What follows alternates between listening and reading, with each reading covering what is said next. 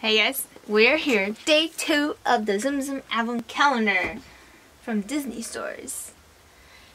Okay, so last, yesterday was this green Mickey, just to refresh our memories, and today we're gonna see what the surprise is. Okay, I really don't want to break the box, but, so it's gonna take a bit. Here we go.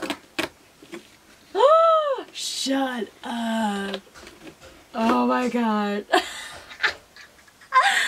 it is Chip. Oh my god, Chip in his snowman outfit and then there's actually a snowman on top here. Oh my god, how stupid cute is that? And then the embroidered, their hands on it. Ah, oh, so cute. This is what I'm talking about. I just, I love these silly characters in silly, cute outfits. Oh my god, this is so cute. Can you believe it? Mm. It would be funny if it was Olaf and then, but it wasn't, but this is still really cute.